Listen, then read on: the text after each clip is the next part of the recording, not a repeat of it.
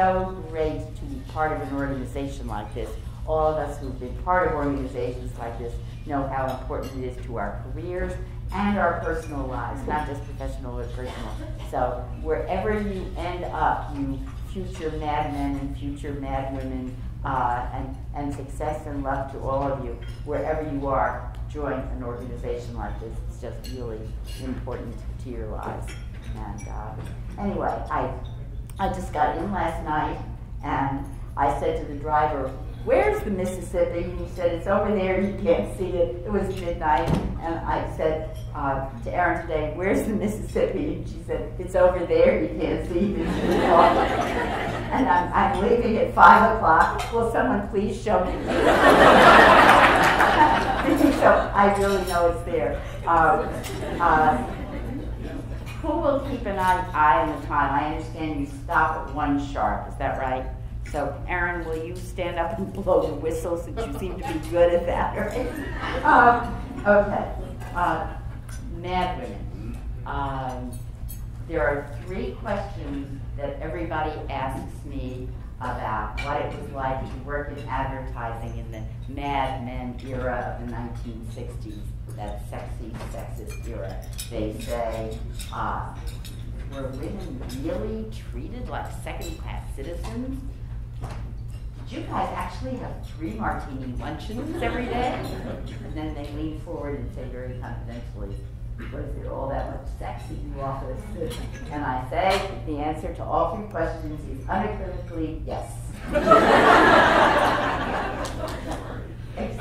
Except that I do think that whatever you see on Mad Men, we did more of. and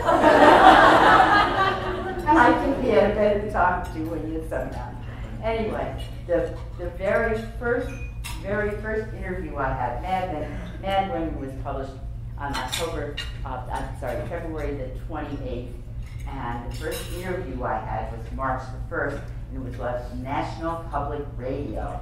And they told me the interviewer on NPR uh, was pretty, pretty tough, that he asked very, very difficult questions. And I was a little bit nervous because I thought, oh, he's going to ask me tough questions about advertising then and now and everything. And I did my homework and prepared. And it was a 30 minute interview. That's a very long interview. And I get into the studio, and for 29 of the 30 minutes, he asked me about sex in the office. I answered as well as I could. and um, and I, it was a pretty good interview. I, I knew it had gone well. And so I kind of waltzed down the corridors of NPR on my way out going, right? That's such a change and good going, girl. And, uh, and I walked past the receptionist at NPR. Uh, and she doesn't even know I'm there because she's talking to a visitor. And the visitor is saying, who was being interviewed in there just now? And the receptionist says, I don't know who it was, but it's some old lady talking about sex. I said, simmer down. uh, but uh, because of Mad Men and the media frenzy, remember Mad Men went off the air for 17 months because of some kind of uh, quarrel between the production company and the, the, the, network, and people didn't know whether it was coming back, and would Don Draper still be alive, and what was happening. And so there was the media was just in a state of, they wanted to know everything. And so my book, published just a month before Mad Men came back on the air, took off on the wings of this feeding frenzy. And so I just was interviewed everywhere. I said to my daughters, uh, I got a rave review in the Times of London. The Times of London, I can now die happy. And they said, yeah, Mom, the Times of London. But they think that I really made it finally in my life because I was interviewed in one week by the Daily Beast and the Huffington Post. it's, nice that my children think I've arrived. so anyway, I interviewed, oh, about 200 people uh, for this book, mostly women but a smattering of men. And everybody I interviewed, I asked the obligatory question, tell me about sex in the office. And you seem like a jolly crowd, so I thought I'd start this little talk about sex in the office, all right? Applause, please. um, the first person, the first woman I interviewed, it was an old acquaintance of mine, one of the grand dames of the American advertising world. Her name is Joan Lipton. She was one of the first women to have her name on the door of an office of an advertising agency. She's not too much taller than I am, but she's sort of a regal queen mother type. She's quite, you know, she's quite steely. So I felt a little bit embarrassed about asking her about sex in the office, but I persevered because she had worked for Young and Rubicam, which was considered the hotbed of sex in the 1960s. It was an agency right there on Madison Avenue and 44th Street, surrounded by six hotels. So nooners were kind of easy. and so I said, so Joan, uh, would you tell me what you recall about sex in the office? And she kind of sniffed and said, well, Jane, everyone was partaking. but you must remember that at the time I was married, I had a three-year-old child, and I was living in Connecticut. And I said, yes, Joan, I do understand that, but would you just comment on what you might, were aware of? And she said, aware hell, I partook. and so I'm taking notes, and I said, I guess you won't let me use that in the book, huh? And she said, Oh, hell, I'm 87 years old. What if I have to lose? so there's Joan in chapter 2 called Appropriately Sex in the Office. Uh, then one of the next women I interviewed was a young copywriter, uh, was a formerly young copywriter who had worked for me, who also had been at Y&R. And so I, I uh, and she left the advertising world to become quite a successful biographer. Uh, but I asked her, I said, Linda, you know, tell me about sex in the office. And she said, well, I lost my virginity to the account executive on Lime Jello. and I asked the same question. I said, may I use that in the book? And she said, I've been married three times. So, so there's Linda also in chapter two. One of the men that I interviewed asked me not to use his name. He is quite a respected chief marketing officer of a Fortune 500 corporation he allowed me to use his first name, which is Don, and if you can figure it out, more power to you. But uh, uh, Don told me that as a young assistant, assistant account executive, the lowest of the low, he is working on his first job in New York. He's newly in New York, newly wed, newly hired by this agency, um, and he's new at the job, and his client from the Midwest calls and says, Don, I'm coming into New York next week for our big meeting, and I'd like you to arrange a date for me. And Don says, Oh, well, you know, I'm fairly newly wed, but I have some really sweet former girlfriends that I would. And the guy says, Not a date, a date. And Don said, I suddenly saw the quotation marks around the word, and I realized what he's asking me. And Don said, I, I panicked. I didn't know how I would arrange such a date. And he said, I got it, I know what I'll do. I'll go and ask one of the creatives. They'll know. And he went to an art director, and the art director just go down to the newsstand in the lobby, buy a copy of Screw magazine. All the hookers advertise in Screw. So Don said it took him, he was so timid, it took him three tries to ask the lady behind the desk behind the newsstand for a copy of Screw. He bought a pack of chewing gum and went away. He came back and he bought a pack of cigarettes, and he didn't even smoke. and then he finally, you know, bought the copy of Screw, took it up to his office. Lo and behold, all the hookers advertise in Screw. So Don is a very good account executive right? So he read every one of them.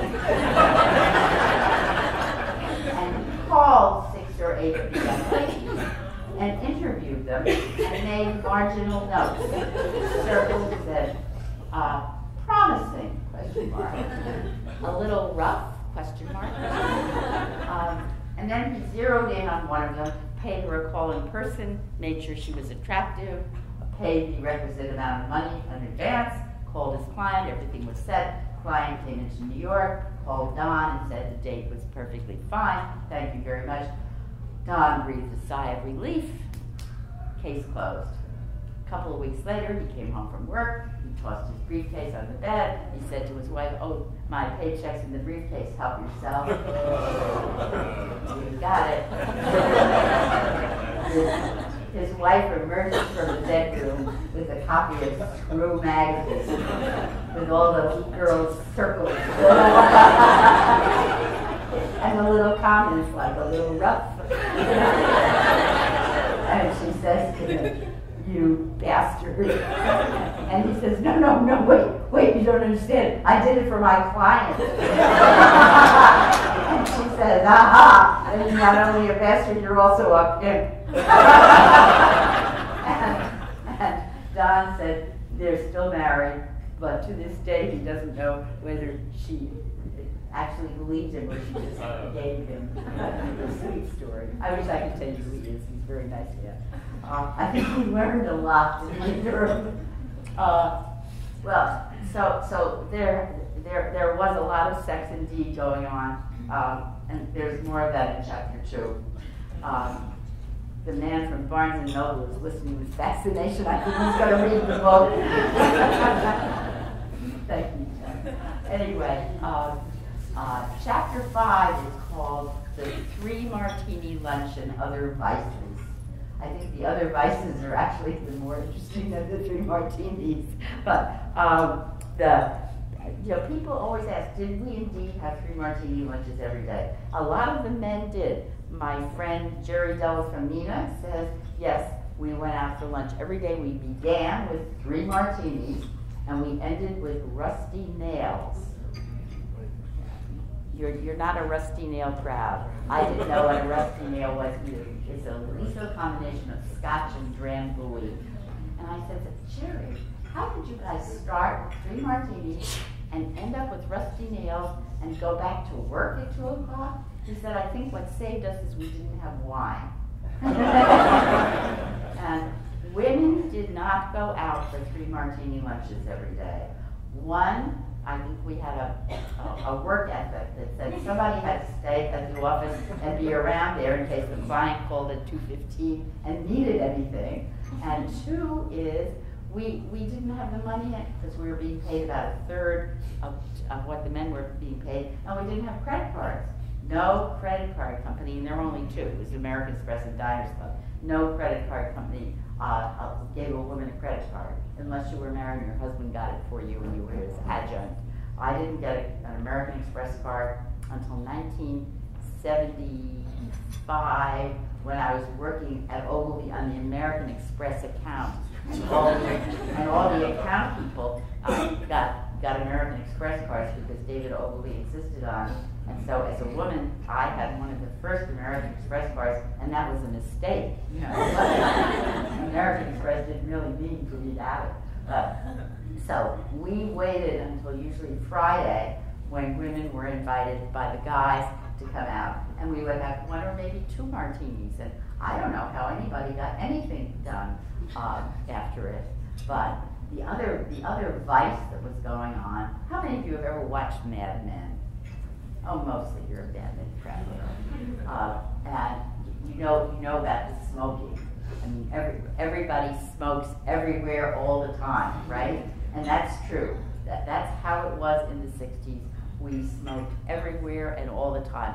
Uh, in one of the very early episodes of Mad Men, Peggy Olson goes to her gynecologist to get birth control pills, and he is smoking in the examining room. in the examining, not his office, in the examining room. And I thought that was just terrible. I was really, I was really uh, shocked by that. And then I remember when my first, my first daughter was born, uh, the nurse carried this little, you know, hour-old, five-pound infant into me in my bed in New York Hospital, and I cradled her tenderly in one hand and smoked a Marlboro.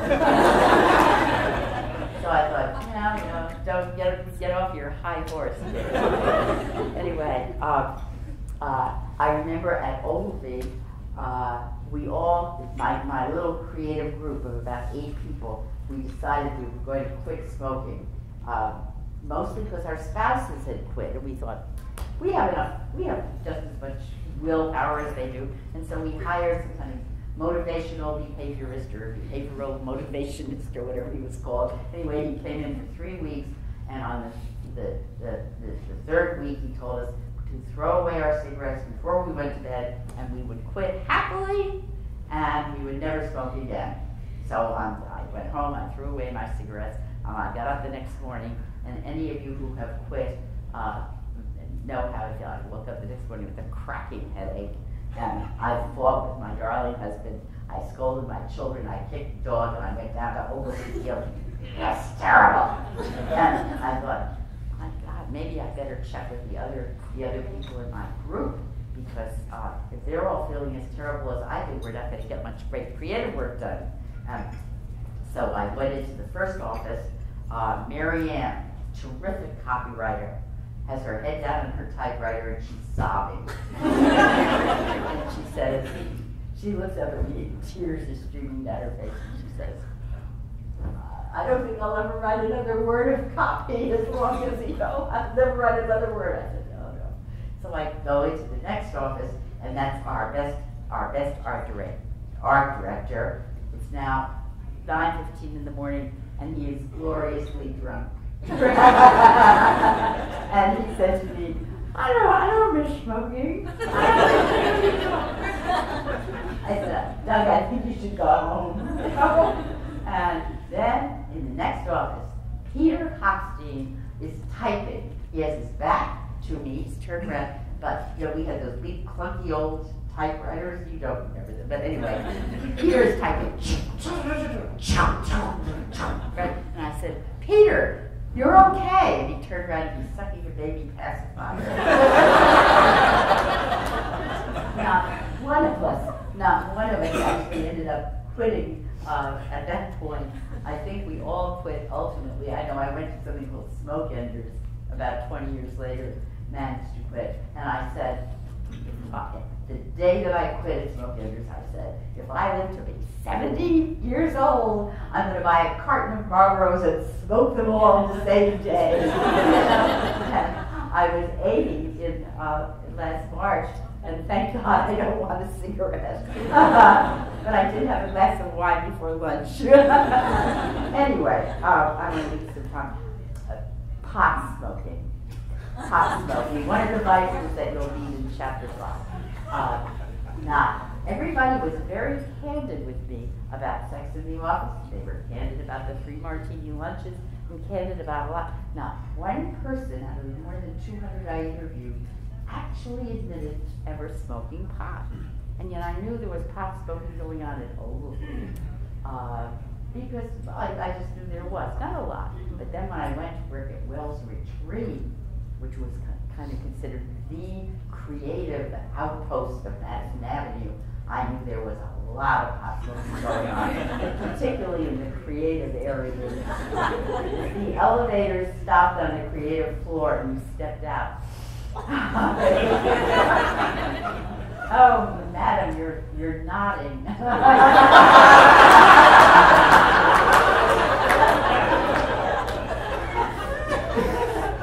anyway, anyway, this so, so you know, the Wells Rich Greene experience stood me in very good stead when my two teenage daughters uh, in New York, uh, like like all of their friends, began to smoke pot. They came home from school. Their friends gathered, uh, and and they would get into their bedrooms and smoke pot. And I come home from my office, open the door of our New York apartment, go, ah, yeah. And I say to my daughters.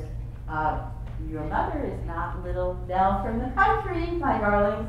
I work in an advertising agency. You know, I know what you're doing. And anyway, my younger daughter, Jennifer, told me that her friends thought I was a terrific mom. They wished that their mothers were, you know, as cool as Jennifer's mom. Jennifer's best friend took her aside and said, Jen, your mom is so cool. I bet your mom smokes pot. and Jennifer was indignant. She said, My mother does not smoke pot. And then she realized that she needed to protect my cool image. So she said, I think my mom drops acid.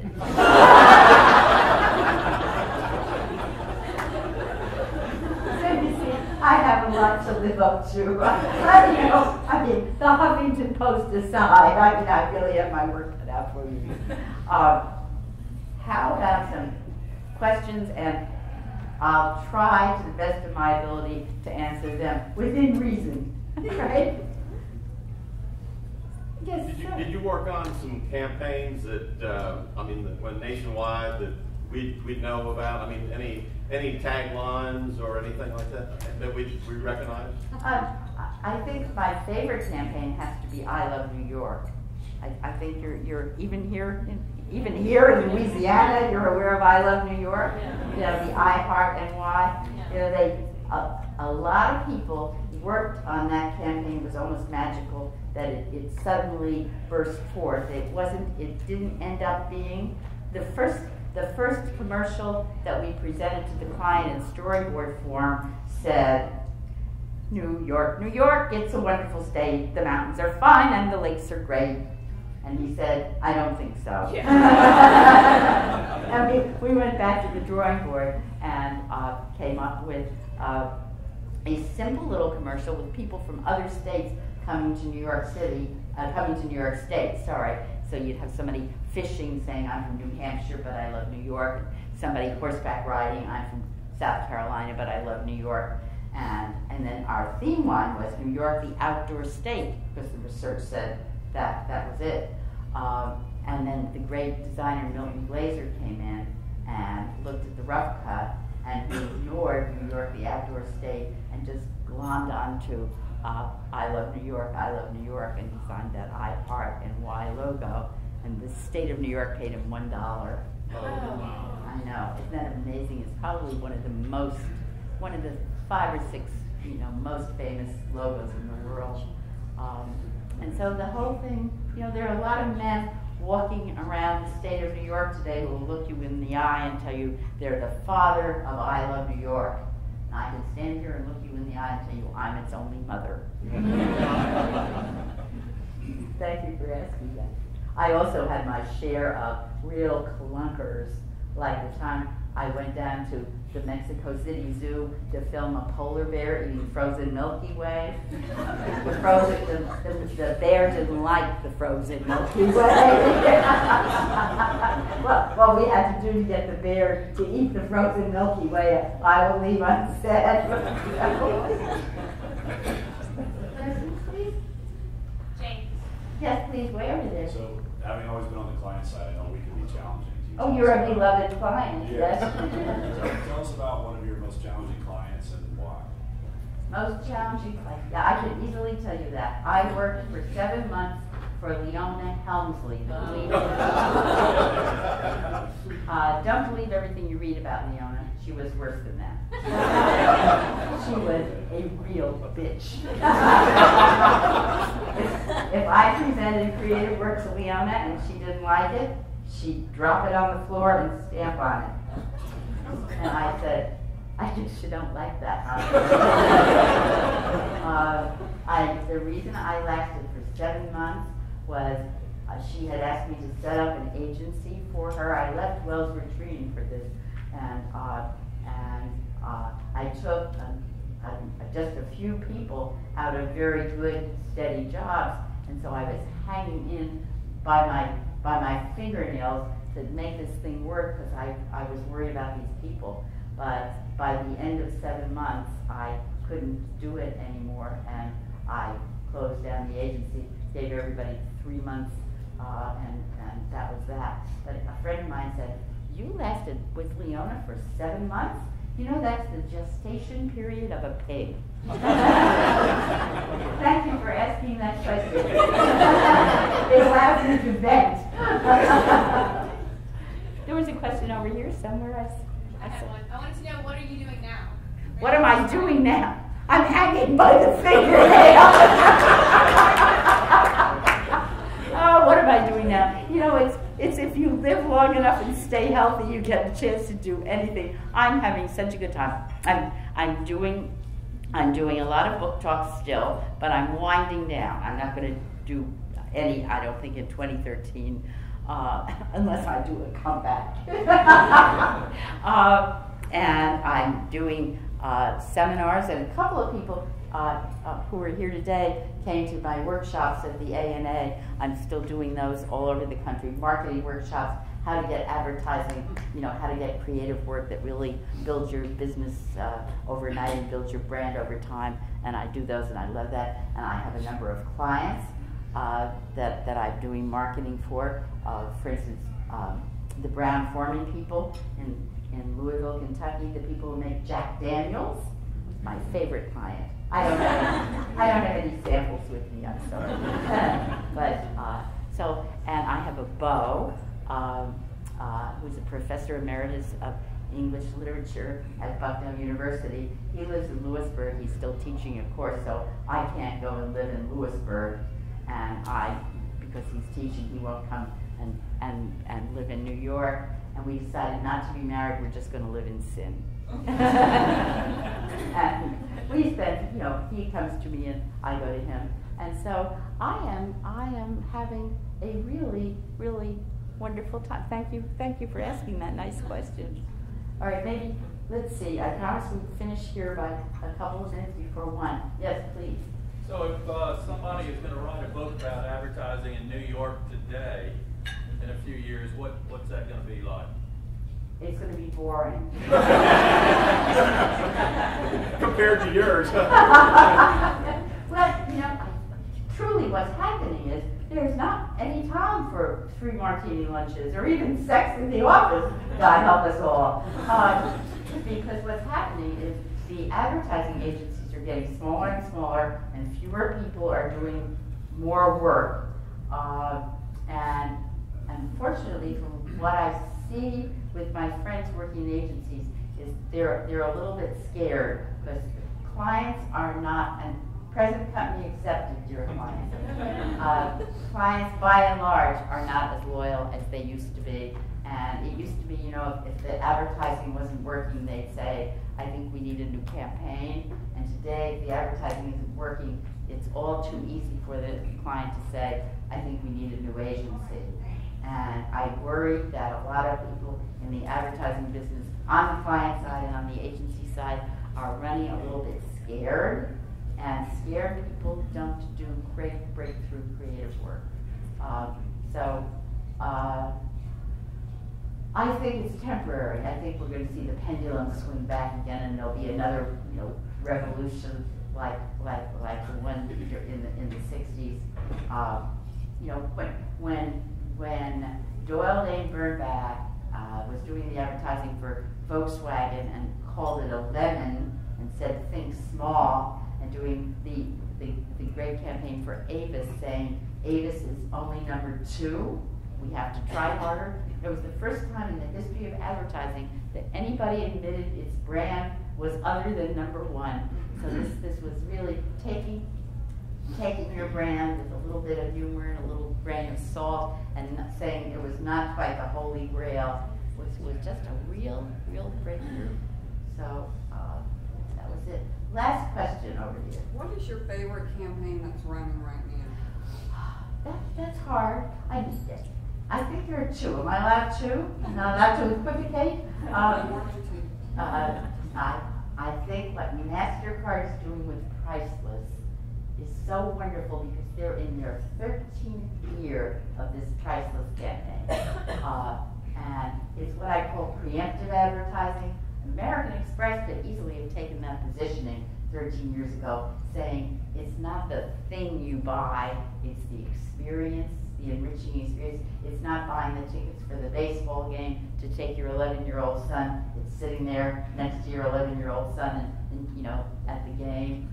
Uh, and they have had the guts to hang in there with this priceless campaign for 13 years. And I watch and they keep they keep enriching it and enriching it. And then the other campaign, the campaigns that I like are what they've been doing with the Martin Agency with Geico, because they keep doing new campaigns, but they're all doing exactly the same thing. They're zinging in that, do we really save you money?